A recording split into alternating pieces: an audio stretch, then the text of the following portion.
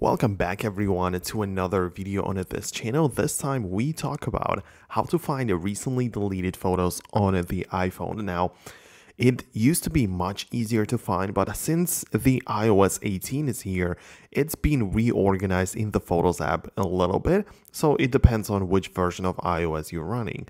But essentially, you can open up the uh, Photos app like this and if I just lower the brightness a little bit, well, you can find that we are at the bottom in a couple of different sections. So you can go to this like years, months, and like all, but you need to make sure you go to all section, right?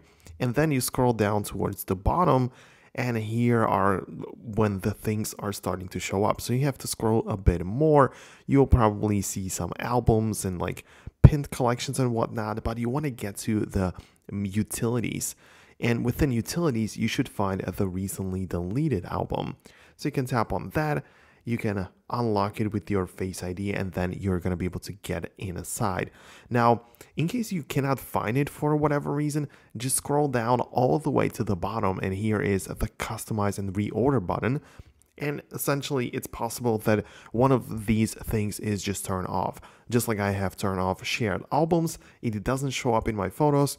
Well, it's possible that the utilities is also not enabled and that way you cannot find it. Or you might as well just reorganize it and bring up the utilities towards the top, right? So when I hit like uh, get outside of that, I can just swipe up a little bit and the recently deleted are here right away. So you can reorganize it. It's pretty simple, but this is essentially where you can find them. So I'm going to wrap up the video right now. Hit the thumbs up if you liked it. Subscribe for more content in the future and I'll see you in the next one.